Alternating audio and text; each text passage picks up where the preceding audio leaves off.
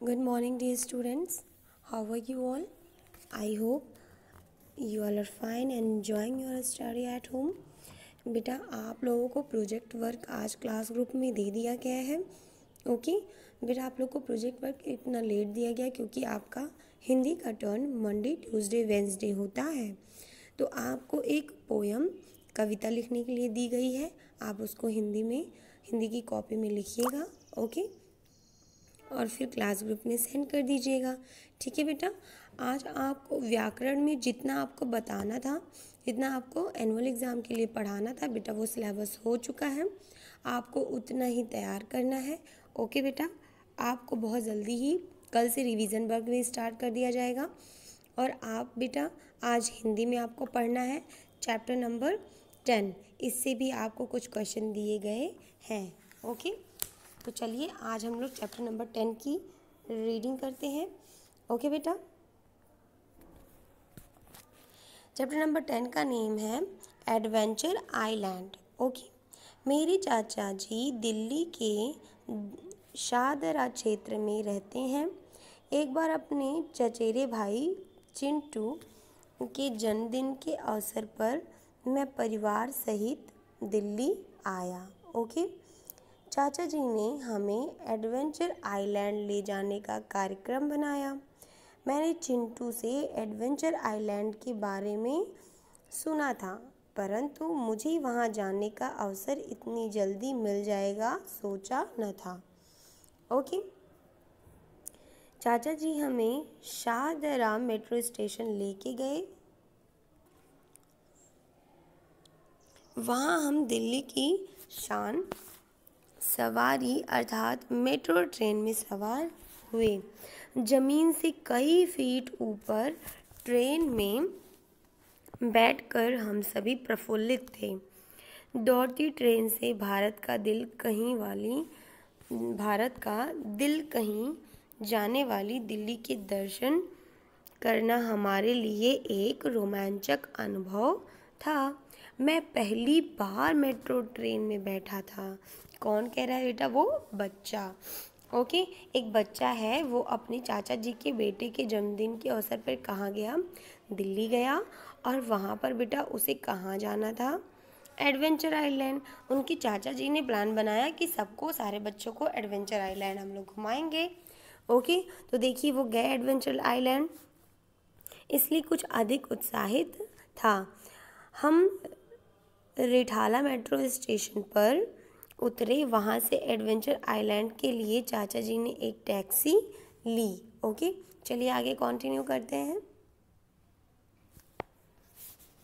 Adventure island के प्रवेश द्वार को देखकर मुझे लगा कि मैं परियों के देश में प्रवेश कर रहा हूँ। चाचा जी ने अंदर जाने के लिए टिकटें ली, तब तक मेरी उत्साह उत्सुकता अपनी चरम सीमा पर पहुँच गई।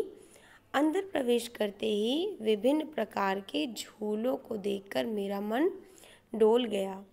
मैंने उत्सुकतावश पूछा, चाचा जी, क्या हम सभी झूलों पर झूल सकते हैं? चाचा जी ने मुस्कुराकर उत्तर दिया, नहीं सचिन, तुम अभी छोटे बच्चे हो।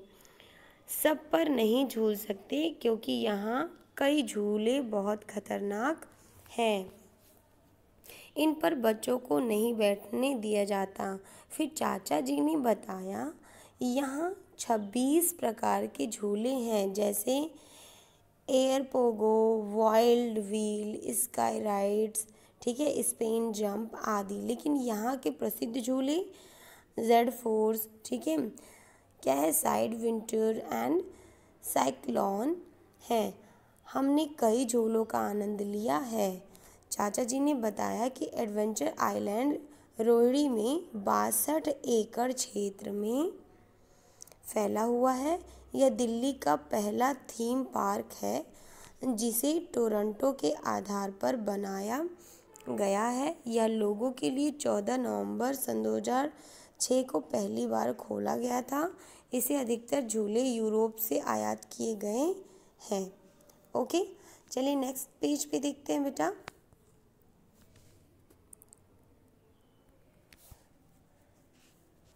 फिर चाचा जी हमें वाटर पार्क की ओर ले गए। वहाँ हमने स्प्लैश डाउन ठीक है फ्लोट बोर्ड आदि का मज़ा लिया, ठीक है। रॉकिंग टंग वन सेकेंड हाँ रॉकिंग टग और डरबी डेविल्स में तो सभी बच्चे चीख चिल्ला रहे थे। घूमते घूमते शाम के तीन बज गए। हम सभी मेट्रो वॉक मॉल में गए।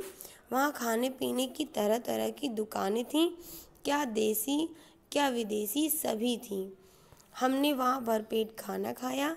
खाना खाने के बाद हमने नरूला में बैठकर आइसक्रीम खाई। हम सभी थक चुके थे, लेकिन चाचा जी ने कहा, जब यहाँ आए ही हैं तो इन्हें जैपनीज़ पार्क भी दिखा दीजिए। चाचा जी को यह सुझाव अच्छा लगा। उन्होंने टैक्सी वाले को जैपनीज़ पार्क चलने को कहा।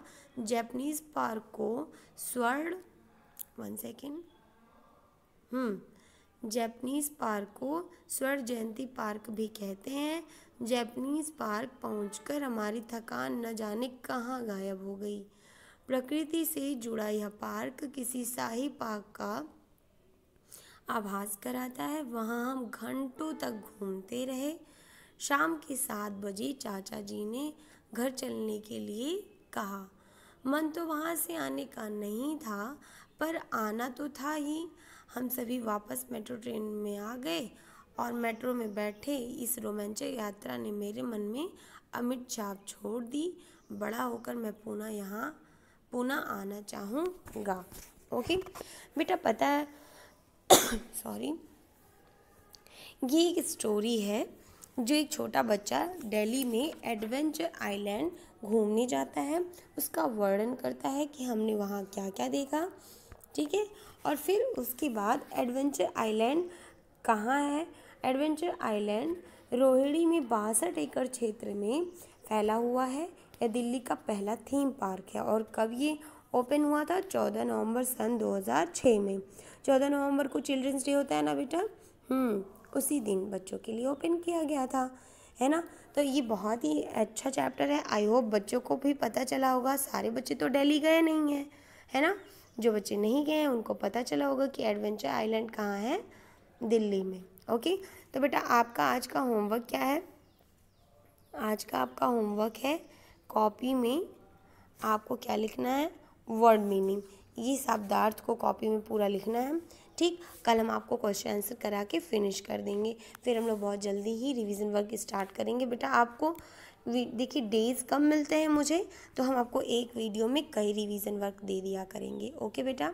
आई होप आप लोगों को आज की रीडिंग समझ में आई होगी और अपना होमवर्क भी आप लोग अच्छे से करिएगा। ठीक है? मिलते हैं नेक्स्ट वीडियो में, बेटा। Till then take care thanks for watching